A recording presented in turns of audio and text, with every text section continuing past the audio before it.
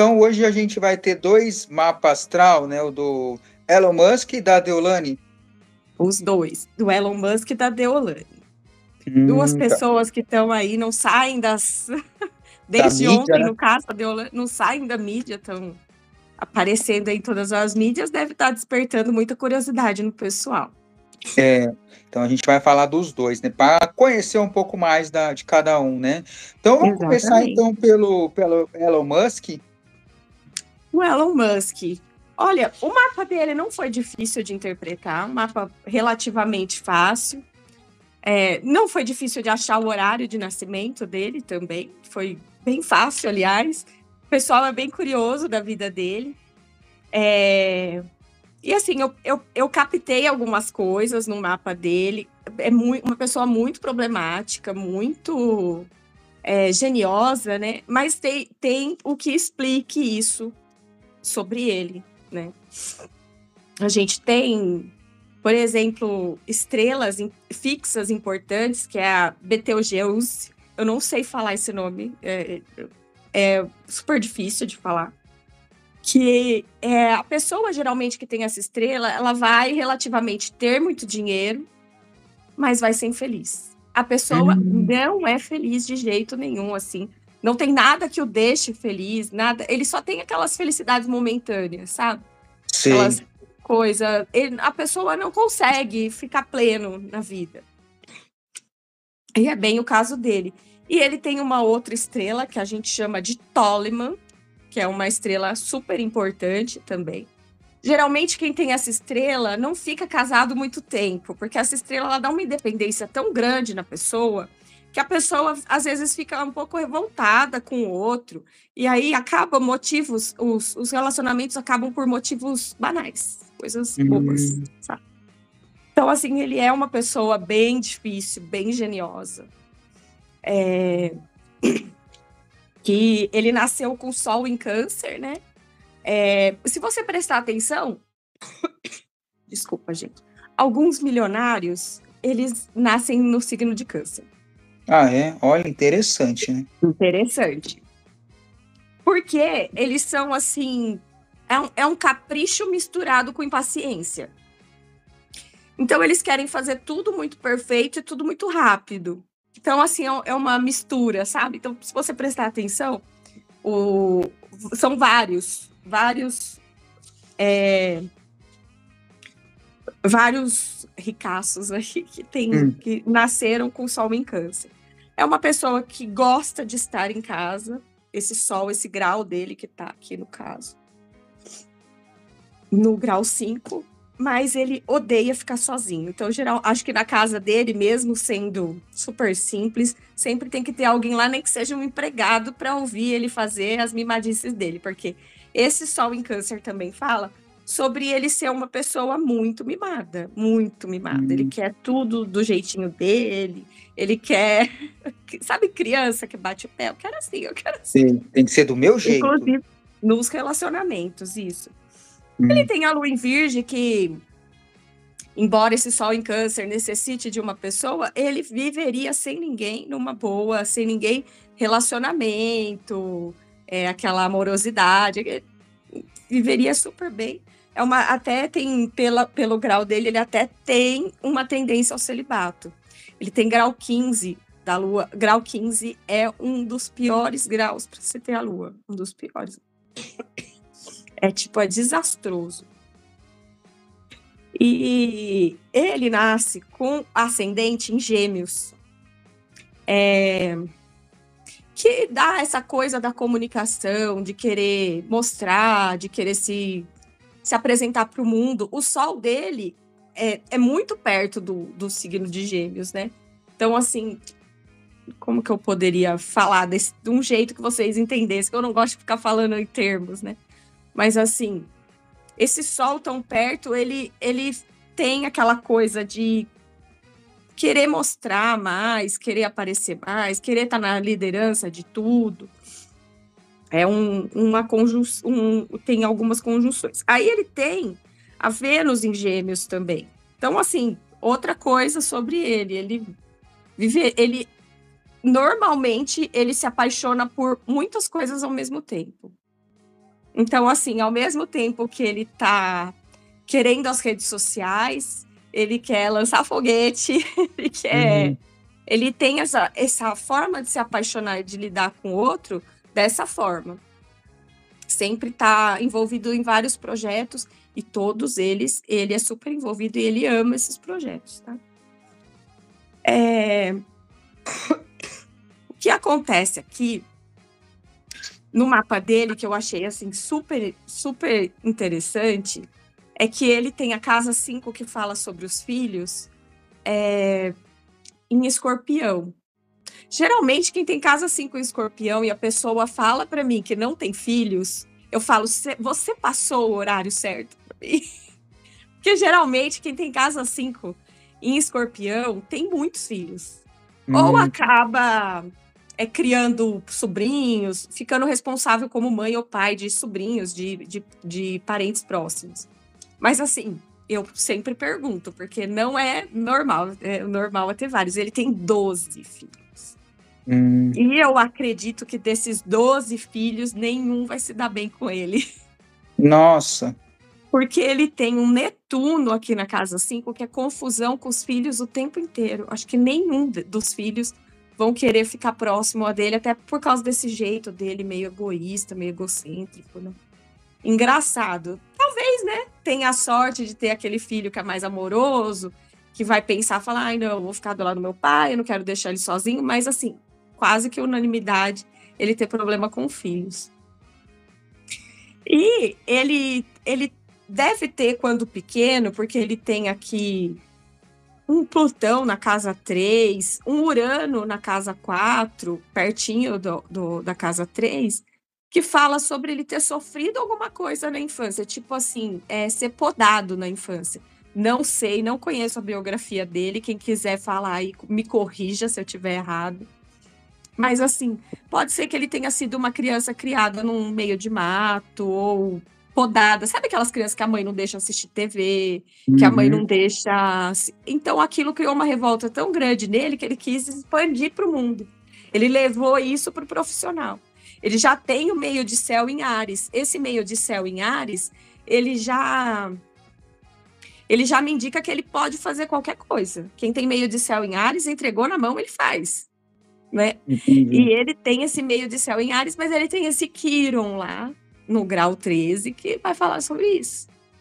Vai falar sobre essa coisa de trazer da infância pro, pro adulto. Então, ai, quando era pequeno, gostava de brincar de astronauta e ele trouxe para a profissão. Ele vai, ele vai pôr um foguete para voar, ele vai. Então, ele traz isso para ele. É muito engraçado, né? Esse é. tipo de uhum. coisa. É muito é. legal. Então, ele trouxe uma coisa da infância para a profissão. Aí, outra coisa também que me chamou a atenção é ele tem, ele é touro na casa 11. Ele não deve ter quase nenhum amigo, quase nenhum, assim, ele deve ter pouco. Ele tem muita admiração, porque ele tem esse sol na casa 1, né? Então, assim, acho que ele chega, lógico, né? Ele é o Elon Musk. ele chega num lugar, ele chama atenção, mas foi sempre assim, né? E. Mas amigos mesmo de verdade, ele não tem, não, tem muito poucos, deve contar na, nos dedos de uma mão. E, e, por exemplo, ele tem um asteroide que a gente chama Fama. O dele fica bem na casa 3. Então, com certeza, é, ainda tendo Lilith na casa 3, ele tem uma obsessão de mudar o mundo, de mudar a forma que as pessoas se comunicam. Então, assim, é uma obsessão dele, ele não vai abrir mão disso de jeito nenhum. E a forma que ele encontrou foi, por enquanto, Twitter, mas pode ser que venham novidades por aí. Porque hum, ele não então... vai parar. Ele deve ter mais de 15 empresas, mais do que. Então, ele não vai parar.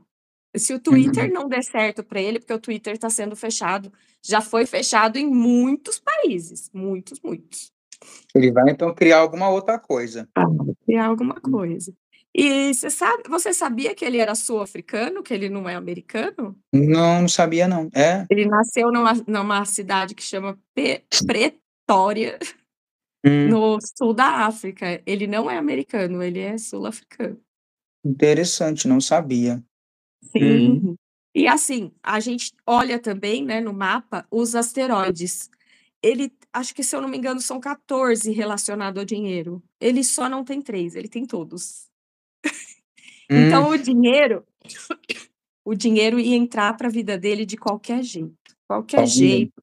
Ah, se ele fosse vender bolinho na esquina, ele ia ganhar dinheiro. Assim, ia ganhar dinheiro. Não ia entrar na quantidade que. Ao mesmo tempo que ele tem aqui um nodo em conjunção com Marte, que é, ganha muito, mas perde muito. ele vai ganhar muito, vai perder muito. E esse nodo aqui na casa 8, gente, licença, vou tomar.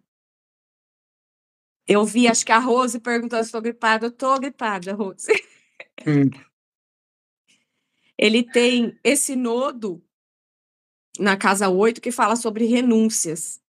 Então, eu acredito que em algum momento, ou ele já até tenha feito isso, ele não liga de perder. Ele, ele não liga de perder nada. Ele não uhum. tem apego com exatamente nada. Quando ele quer alguma coisa, é porque ele quer, mas se ele tiver que largar de mão, ele larga. Se ele tiver que largar dinheiro, ele larga. Se ele tiver que que renunciar, por exemplo, que eu, se eu não me engano, ele mora numa casa super simples, tudo dele é muito simples. Não tem essa coisa de ostentação. É, porque ele tem esse nodo também traz um pouco de minimalismo para a vida dele. Entende? Então é isso. Desculpa. Uhum. Tá bom. Deixa aí, ó. Tá. Já já tem o signo, gente. Ela vai falar os signos para a próxima semana para cada pessoa aí, tá? Já já também ela vai fazer o mapa aí da Deolane, tá, tá fazendo do Elon Musk para quem entrou agora, tá bom, gente? Deixa o like também no nosso vídeo aí para sempre vir mais pessoas. Beijo, Ari. Eu voltei. Tá. voltei. E que mais que eu poderia falar dele? Bom, ele também tem outro asteroide que chama Fortuna, que fica em conjunção com Saturno, que sempre ele vai ter muita sorte, muito sucesso, e, e fica na casa 11. Então, assim, as pessoas apresentam projetos para ele, ele compra os projetos, ele é uma pessoa muito visionária, muito visionária. Com esse Saturno na casa 11, que era para ser um Saturno mais sério, né, mais mas não, na casa 11 fala, ele escuta todo mundo, apesar de não parecer, mas ele escuta muita gente. E e é aquilo, é uma pessoa super inteligente, se ascendente em gêmeos, é uma pessoa é fora é fora do normal, assim, o mapa dele é, um, é interessantíssimo. Hum. E é bom, eu falei sobre a restrição da comunicação, sobre o problema com os filhos. Acho que no, no, no mais é isso. Você tem alguma pergunta, pode fazer, tá, André? Ô, Paula, pelo que eu. Assim, não sei se é impressão minha, assim, mas os mapas que você fez aqui na live, o dele eu achei assim, bem assim, complexo. Não sei se é complexo, mas detalhista, tem muitos detalhes. É isso mesmo? Ou é só uma impressão minha? É. Uma impressão, por exemplo, da Deolane tem muito mais. Ah, é? Ah, Ela é uma tá. pessoa muito mais complexa do que ele, por exemplo. Ele é uma pessoa assim, pelo mapa, tá? Vou resumir. Ele é uma pessoa obstinada, ele quando ele quer, não tem ninguém que tire da cabeça dele.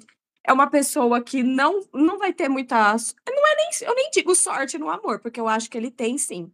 Ele tem Sagitário na casa 7. É para ele Sagitário na casa 7 já significa é, Sagitário na casa 7 já significa que ele não vai casar com uma pessoa que é da da onde ele nasceu.